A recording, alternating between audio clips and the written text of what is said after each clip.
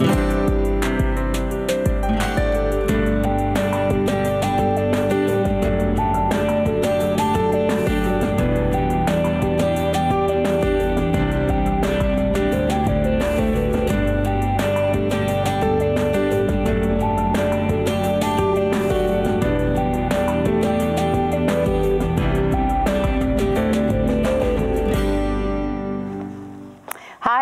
to Friends and Neighbors. I'm Sherry Tatum, uh, your host for the day. And, uh, you know, a lot of times on the show, we have a lot of inspiring programs, uh, a lot of shows that uh, build faith. And today is one of those. Uh, we have our guest, Bob Krech. And Bob is the author of 30 books, uh, two national bestsellers. But the one that we're going to be talking to Bob about is called a little faith. Um, it's a father's miracle story of faith, hope, love, and a micro preemie. Uh, and when I say preemie, I mean preemie. She did not even weigh a pound. Uh, their daughter was born and weighed just somewhat under a pound, and that's what we're going to be talking with Bob about that journey of that of their daughter and what happened, and then how the book, A Little Faith, came about. So, Bob, welcome to Friends and Neighbors. How are you? Well, thanks for having me. Oh, thank you for being with us. Your story is absolutely inspiring. I'm, I'm just looking through it, but I can't wait to read uh, all the different things that, that God did for you and your wife, Karen. Uh, now, tell me what happened Karen was pregnant, everything was fine, and then all of a sudden, uh, at what stage or what month was she was Karen in when you had to take her to the hospital? Yeah, Karen was 22 weeks pregnant and doing great, felt fine. Um, but one morning she had a little bit of bleeding. So she called the doctor who said, Well, it's not unusual, but let's check it out. So she went over, uh, we went over, uh, nurse took a look at her, said, You look great, your weight's great, let's do an exam. She hooked her up to the monitor and then said, Karen, are you feeling contractions? And Karen said, No, because it looks like you might be having some. So let's get the doctor in. He came in, did an exam, and said, All right, you are having contractions. You've begun to dilate. I want you to go directly to the hospital. I'll meet you there. He said, But before you go, I need you to sit down because I want to tell you about this. So we sat down and he said, So we're going to try to hold off this birth. He said, But I'm going to have to say it looks like the baby will be born within a week. And it's unlikely the baby will be born alive. Oh, my. Yeah. So we were shocked, but we went to the hospital they held off the birth for two days. Then Karen's water broke, and uh, the baby was born. Now, the baby was born alive, which just, you know, we were thrilled. Yes. But she was the smallest human I'd ever seen. She would fit in the palm of your hand. And she was quickly whisked into a group of nurses surrounded by machines. And the neonatologist came over to Karen and said, you know, Karen, how are you, how are you doing? Karen said, I'm fine. How's the baby? So she said, mm. your baby is very sick. She's very small. She's not breathing on her own. We're keeping her going with machines. Um, the oh. best we can do really is to give her to you. You hold her, keep her warm as she passes on. Oh and my. So they were not giving you any hope at all that your daughter would live, would make it through. No, Mar- I, I just blurted, "You're kidding," and oh. she said, "No, this baby weighs under a pound, and babies like this don't make it." Mm. And we said, "Aren't you even going to try?" And then she looked at us and she said, "All right, I'll take her to the NICU at your direction." We said, "Okay, let's do that."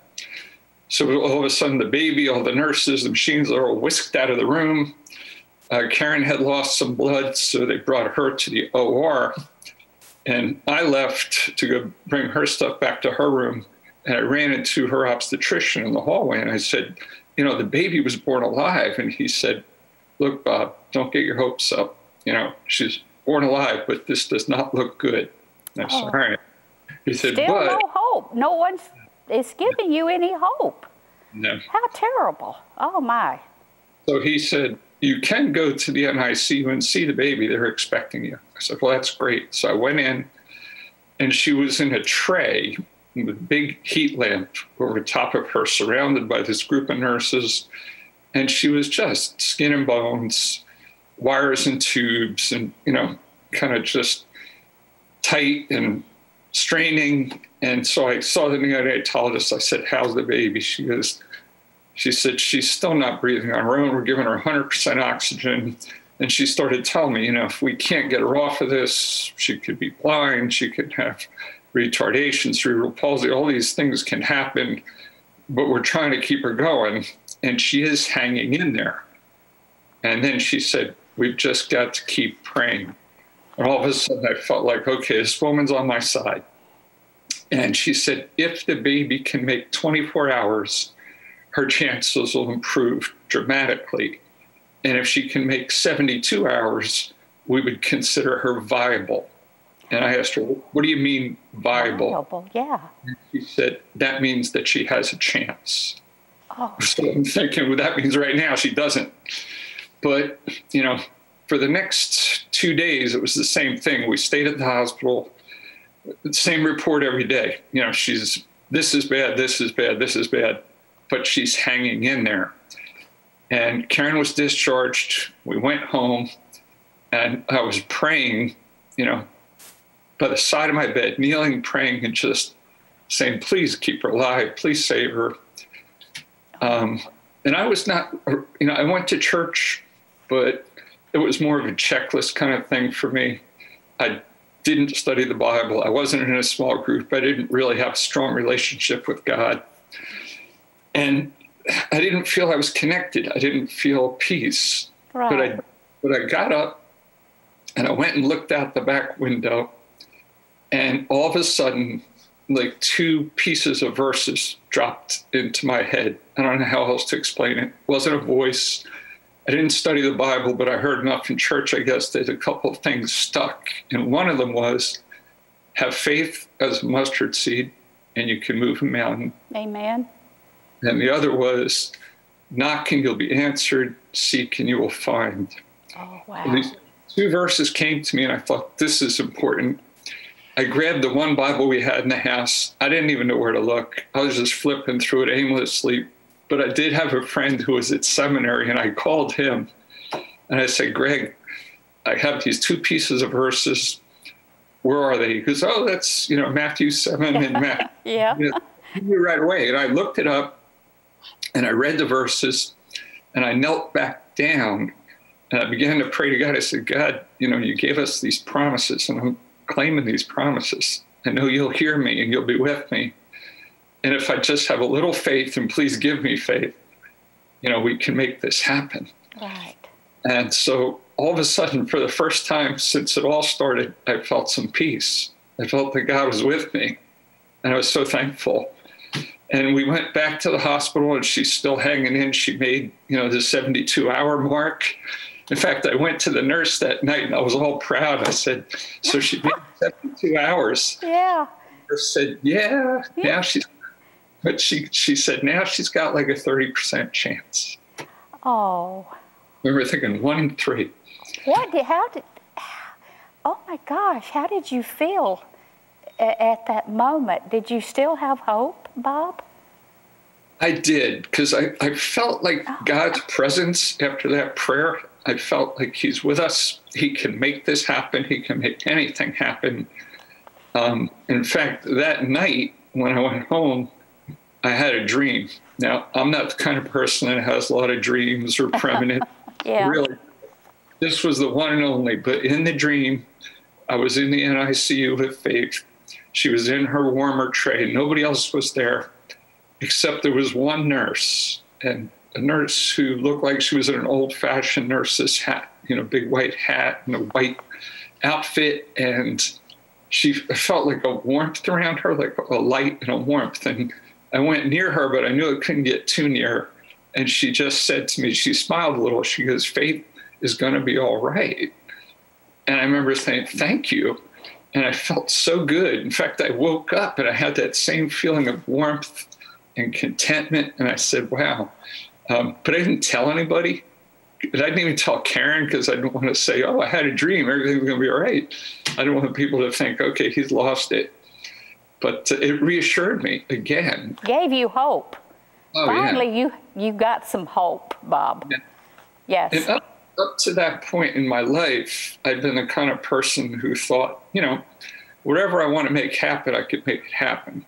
You know, um, if a child is sick, you bring them to the, the right doctor, the right hospital, it can be fixed. But in this case, they were all telling us, no, it's not going to work. She's not going to make it.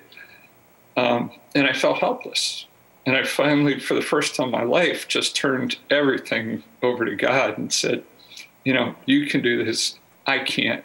Whatever your will is, let it be done, but please help us. Amen. And he did help you. You know, I, I, I feel like sometimes we, when we go through hard times, is when we're the uh, closest to the Lord. Is when we really, truly say, okay, I'm in. I'm all the way in. I may have been out here a little bit, but now I'm, I'm in. And I'm here to do your will, and your will be done in my life, you know, from here on out, because I'm, I'm yours 100%. And it seems to me that this is what happened to you, Bob, during this. Uh, I don't know whether to try, uh, call it a trial or, or a test, but God used it for good. The Bible says that the devil meant it for evil, but God meant it for good. God meant every bit of this for the good for you, for Karen, for Faith, and now for many others that are watching and listening to you, and how this journey with faith, how it all came out. Now, we're talking about the first couple of nights here, I think. So, Yeah. how after after your dream, and you have this nurse that says she has 30% chance, what has evolved? What evolved after that? So there was a lot of ups and downs. Um, she got two different infections. And the infections can be very deadly. Yes. But again, she overcame them. Uh, she had a heart valve that was open that needed to be closed. You know, and they started talking about maybe surgery, but we're going to try this this drug instead. It was called Indocin, and uh, but the drug had side effects that could be dangerous, could cause bleeds. Um, so we were praying over that constantly, and you know, the drug worked, the valve closed, her heart was fine. Um, you know, we were there for four months with her. Um, and like I said, there was back and forth, up and down, but prayer was our constant. And for me, who, you know, I had never really, like I said, never read the Bible before. All of a sudden, I was hungering for the word. You know how they say that? Praise God. yeah. It was so real. For the first time, I wanted to read the Bible and learn as much as I could. And the more I read, the more I felt reassured, you know, that God was with us. And Well, in those four months that you were there, say a couple of months down the road here, uh, did your faith ever wane? Did Karen's wane? Did you ever just say, Oh God, I'm so tired.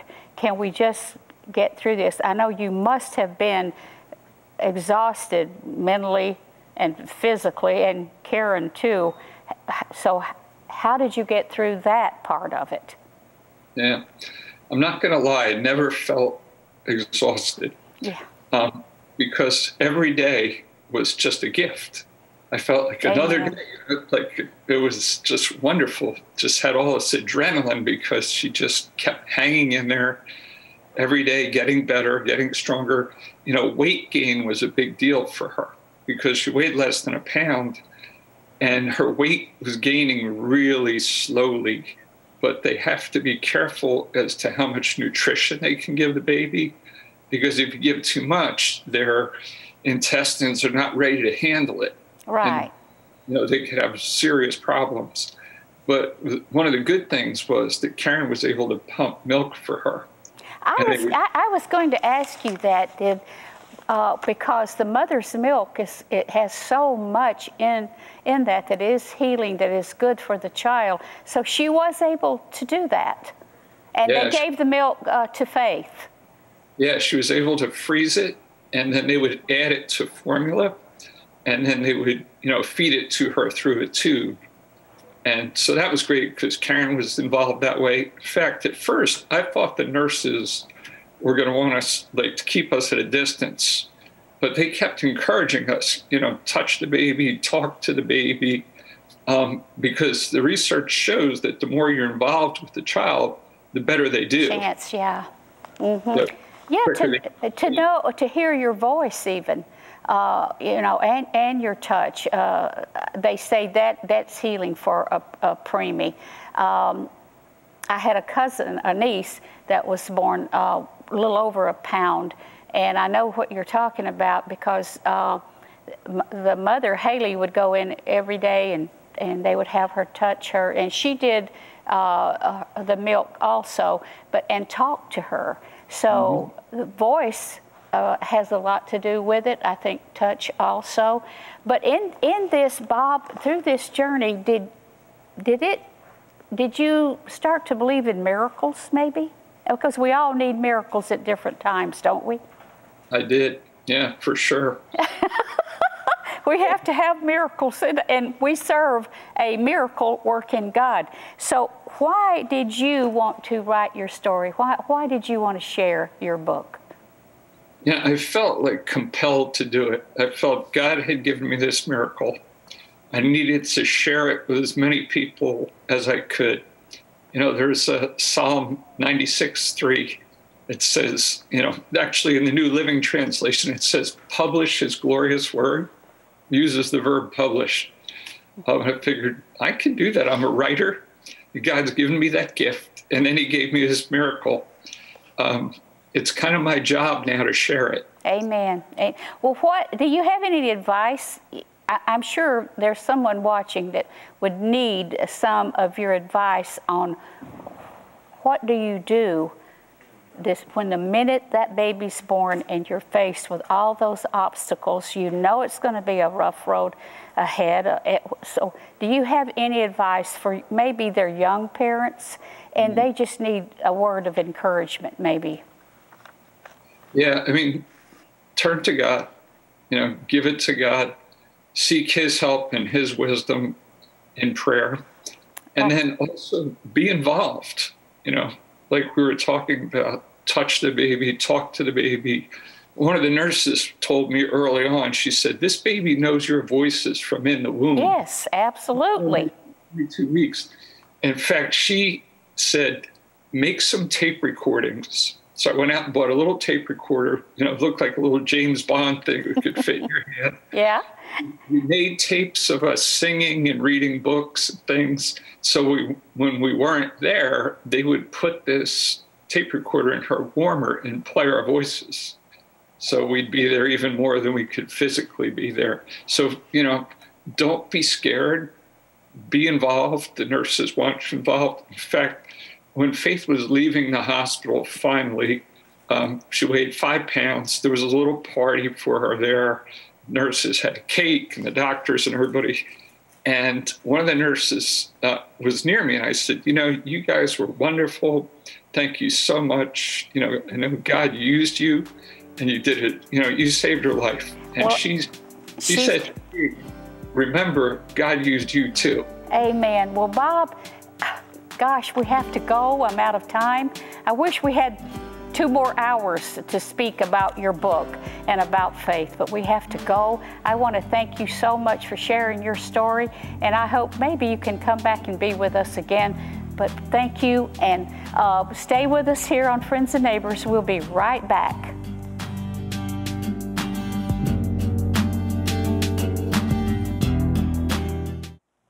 Welcome back to Friends and Neighbors, and uh, I would like to end the today's show with a, just a little devotional, uh, maybe something that might spark your uh, journey with the Lord, maybe to be uh, a little closer to the Lord. Uh, and if you have a Bible, Matthew 26, And it's when Jesus had been praying, you know, in Gethsemane, and that the Lord's will be done, not his. And he gets up, and Peter and the disciples, of course, they're all asleep, uh, which, uh, you know, they said they would watch and, and pray with the Lord. But this is about when the, the uh, soldiers came. Uh, to take Jesus away. And it said, in that same, starting with verse 55, in that same hour said Jesus to the multitudes, Are you come out as against a thief with swords and staves to take me? I sat daily with you teaching in the temple, and you laid no hold on me. But all this was done that the scriptures of the prophets might be fulfilled. Then all the disciples forsook him and fled. And they that laid him laid hold of Jesus led him away to Caiaphas the high priest, where the scribes and the elders were assembled. But Peter followed him at a distance at a distance uh, into the high priest's palace and went in and sat with the servants to see the end. Now he's gone in to the high priest's office, which was the enemies of Jesus Christ. But the Bible says he followed Jesus at a distance. And that's what I want to talk to you about uh, following Jesus at a distance. How, how do you know that you are following Jesus at a distance. Let me give you a few little pointers here. It says, when we know to do good and do it not. The Bible says that. It says, if you know to do good and do it not, to you it's sin. So that's at a distance. You're, you're, you're keeping part of yourself uh, for self to do what you want to do. And that is following Jesus Christ at a distance. You're not following the precepts upon precepts in this Bible when we love this world more than God or Jesus, uh, when the world takes precedence in all of its entertainment, what we go see, what we listen to, how we dress, how we talk, uh, where we go. Uh, you know, if we let entertainment uh, of this world uh, entice us, even though, you know, the words that, that, are, that are in a movie or a TV show, terrible words, taking God's name in vain, the F word, all these words, and you sitting, listen to that, that grieves the Holy Spirit in you. So that when you let the love of this world, you love it more than you love Jesus Christ and doing the right thing. And when you don't gather with your brothers and sisters at church, but you prefer to stay home, Listen, the Bible says in the latter days, assemble yourselves even more because uh, the, the days are wicked and they're short. And so when we gather with our brothers and sisters, we gain strength. Uh, you know, we can encourage one another. That's why we are to assemble ourselves. I know there's times that, you know, we cannot go to church. Maybe we're sick or something, uh, an emergency has come up. But if you can go to a Bible believing, Jesus loving church and be with your sisters and brothers, you will see a difference in your growth in the Lord. So always, uh, you know, gather with your brothers and sisters. It'd be a great help to you. And when you had rather be in the company of non believers, uh, you had rather go somewhere else and be with people that aren't like minded that do things that uh, the Bible says that mm, maybe that's not a good thing to do, uh, but, but you find that you'd rather be with them, you're following at a distance. Uh, we should be with the body of Christ. Uh, you know, not saying that you can't have friends that aren't sinners, because we're to witness to the sinners, of course, but be with your brothers and sisters. Be with the body of Christ, praying with each other. Maybe have Bible study. Maybe you know, uh, go to church together. Have uh, families over to your house and and do Christian things. You know, you you want to that, and when you let the world distort your values, when just like I said, when you know to do good and don't do it, to you it's wrong. Don't let the world distort how you dress, how you look, how you talk, where you go, what you listen to let this Word of God here, this Bible, uh, be your guide. If you let this Word get into your heart and you follow that, you'll be on the right path and your life will be blessed. I know it happened for me. Jesus Christ in His Word made an entirely difference in my life. And when you question the authority of Scripture and you look to your own will, you're following Jesus at a distance. As a believer, we're supposed to be up close with God. We're supposed to be personal with Jesus. We're supposed to have that relationship with Jesus Christ and Him crucified because He did so much for us. We should be willing, you know, uh, to sacrifice a few things that, that we love so that we can be closer to our Lord.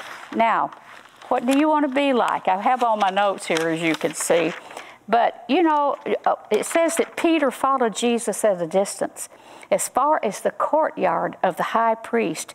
That's in Matthew 26. And he because he wanted to see the outcome. Uh, he became an observer instead of a participant. Be a participant. Be, a, be involved. Be involved in your church. Be involved in a Bible study. Be involved in helping your neighbors. Be involved with Christianity. Be that ambassador that you're called to be. Be that witness that God has called you to be uh, in, in a world that has gone astray. We certainly need uh, all that we all the Christians to be involved in this, these last days where I feel like we are. So, do you want to be like Peter? Who was a roller coaster. He's up one minute and down the other. Uh, he, he, said one minute he'll die for Christ, then he's, he's uh, fled, and then he's following at a distance. One minute he says, I'll, I'll, I'll be with you always, and then he's asleep while Jesus is praying. No, you don't want to be like that. You want to be that one that's right beside him. He said, Pick up your cross and follow me. Follow him. Follow him closely, and you'll hear his instruction. You'll hear his voice. So, which Peter are you going to be like? Thank God Peter woke up and started following Jesus more closely. So, I think all of that that he went through, his denial of Jesus, and all that led him to a closer walk. So think about it. Which Peter do you want to be? I hope the one that follows real close. I hope you know him as Savior. And here at uh, Friends and Neighbors, we love you. We hope to see you next time here on Friends and Neighbors.